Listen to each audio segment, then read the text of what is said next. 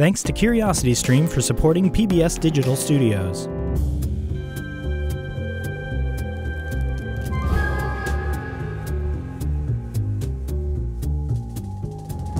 Go down by the shoreline, turn over a rock, and you're likely to find this a maritime earwig. Now, don't get stuck on their name. Earwigs are not interested in your ear. Really, they just want to hide out and hunt tiny prey like these sandhoppers.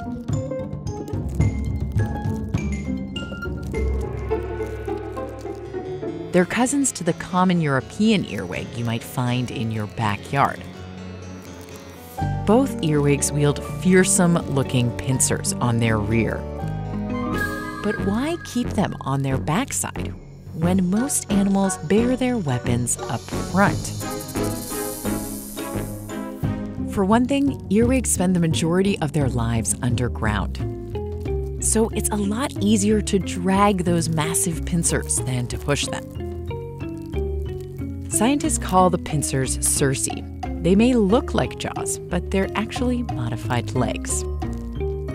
You can find them on the earwig's distant relatives too, like cockroaches and crickets. Male earwigs have curved pincers.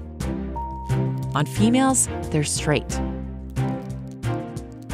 They use them to hunt, to defend themselves from predators, and to brawl. When one male meets another, they size each other up. If they're evenly matched, it's on. Using their pincers, they go straight for each other's abdomens. It's rarely a duel to the death, it's more of a wrestling match. Usually, the bigger one with the bigger pincers sends his opponent running. The loser scurries off and sulks. But size isn't everything. Check out this guy's pincers. They're pretty symmetric, but this other one's aren't. See how one end curves around the other? They're lopsided. Researchers at San Francisco State University wanted to know if that asymmetry might give some earwigs a competitive advantage.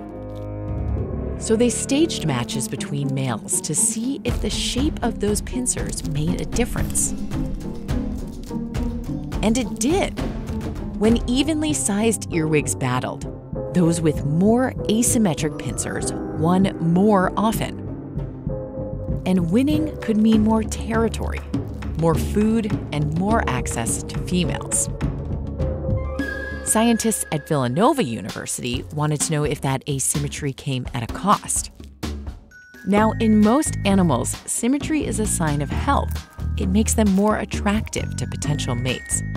That's why it's pretty rare to find asymmetry in nature. But earwigs aren't so superficial. The asymmetry that helps the males fight doesn't make them less attractive to mates.